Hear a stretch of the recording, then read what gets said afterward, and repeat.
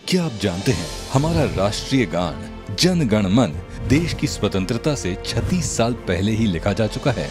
क्या आपको पता है, हमारे नेशनल एंथम को सबसे पहले किस भाषा में लिखा गया था? आखिर जन गण मन को ही देश का राष्ट्रीय गान क्यों चुना गया? हमारे नेशनल एंथम के बारे में इंटरेस्टिंग फैक्ट्स जानने के लिए देखिए Epicpedia Unknown Facts of India premieres every Monday at 7:55 p.m. only on Epic, Epic On and Epic YouTube.